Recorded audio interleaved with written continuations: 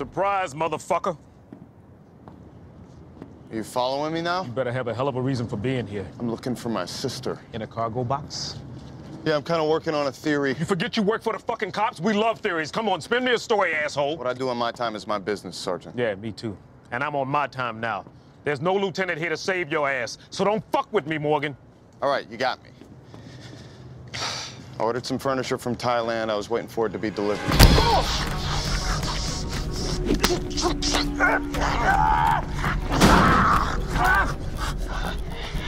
Lab kicked my ass. Hey! What the hell's going on over here? Security, I need to get somebody down here right now. Miami Metro PD. Yeah, well, is this guy under arrest? That's a good question. You're connected to this.